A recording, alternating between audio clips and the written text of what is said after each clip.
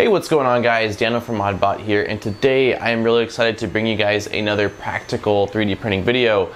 Uh, it is no surprise that I do a ton of 3D printing on this channel. Uh, I do a lot of just random prints, things I need, things that I think look awesome, and I love printing all sorts of little figures and little knickknacks and uh, models from a couple of the different 3D modelers that I really like uh, their work, but there's definitely something special that I uh, enjoy sharing with you guys, and that's when I'm able to use 3D printing for something that is practical around the house or just something that I need in my life that uh, I'm able to solve with 3D printing. I'm going to be showing you guys how I took the uh, little Wyze camera, which is a tiny little like security camera that a lot of people use for uh, monitoring their 3D printers. So I use it for my 3D printers, checking up on the dogs while I'm gone, and even checking up on the apartment.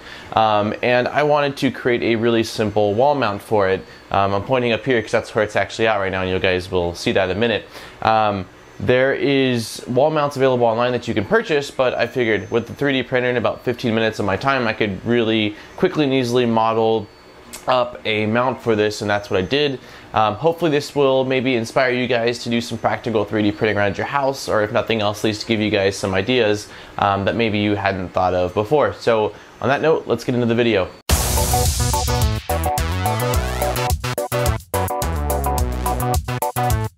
Huge thank you to my awesome Patreon supporters. You guys rock. I really appreciate you guys uh, supporting my content and allowing me to spend more time doing what I love.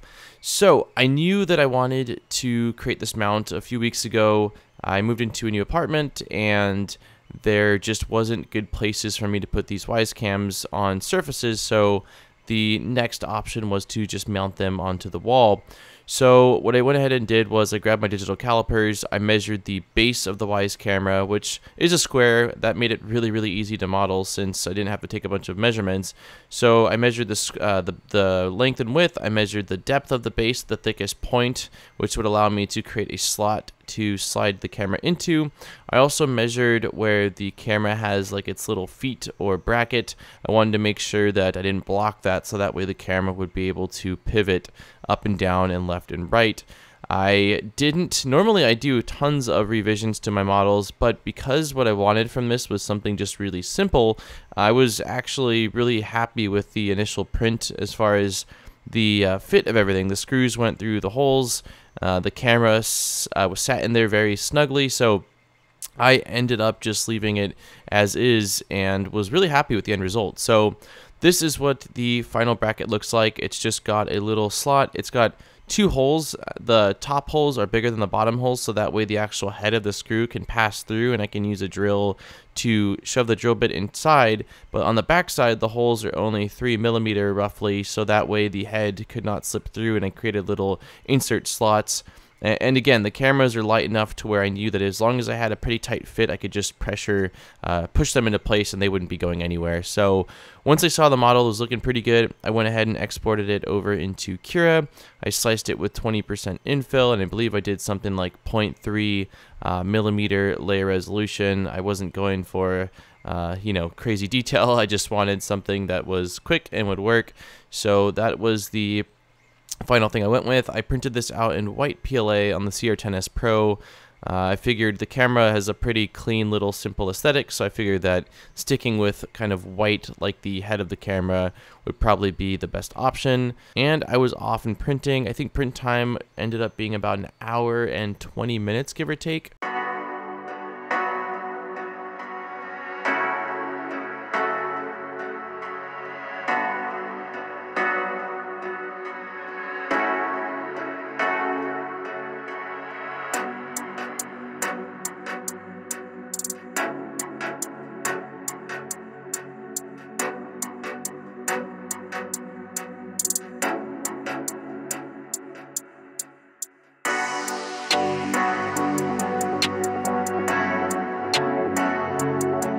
So once the print was done, I went ahead and didn't give it much more than a second to cool down before grabbing the uh, Wham Bam Flex plate and popping off that part.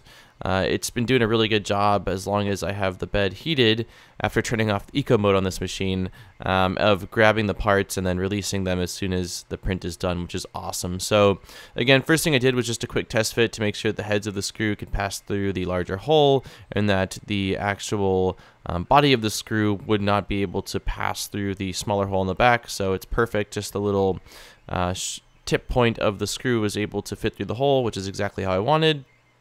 I then went ahead and grabbed the Wyze Cam and just slid it into place because I wanted to make sure since it was going to be sliding from the bottom that it had a really tight grip and the camera wouldn't be falling out on somebody's head or falling down to the ground and breaking.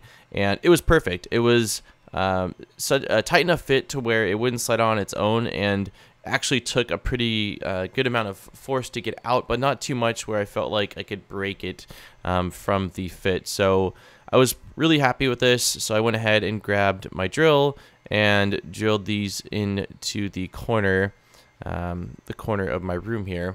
And once I was done drilling those in, I just went ahead and mounted the camera and tested it out and I was really happy with the end result. Um, I thought it turned out awesome. Uh, so I did place this online on Thingiverse. I'll place a link in the description if you guys do want to download this for yourself. If you've got Wyze cameras, I know they're really common and popular. They're like $15 on Amazon, which is insane. So I hope you guys enjoyed this video. This has been a practical 3D printing use case. Uh, and again, maybe it'll inspire you to do something cool around the house, like a little fix-it project or maybe something, uh, again, similar to this that you didn't think of prior. Don't forget to like and subscribe for more great videos. If you love the content and you want to support the channel, Patreon links are in the description down below. As always, thank you guys for checking out my video. Let me know in the comments down below if you've got a home improvement project that you were able to do with 3D printing or if you've got something planned. I'm curious to hear what kind of stuff you guys are working on and uh, maybe you guys will even inspire me to do something else around the apartment here. So on that note, thank you guys so much for watching and I look forward to seeing you guys in my next video. Peace, guys.